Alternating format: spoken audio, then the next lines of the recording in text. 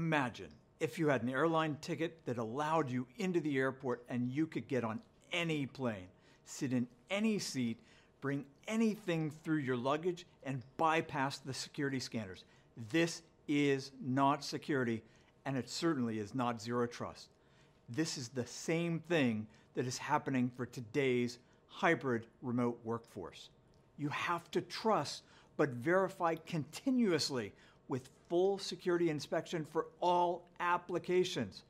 The world needs a paradigm shift. Our Zero Trust Network Access 2.0 is what's next, and Palo Alto Networks is the only vendor that can deliver this. Come hear how you can start your ZTNA 2.0 journey and truly implement Zero Trust.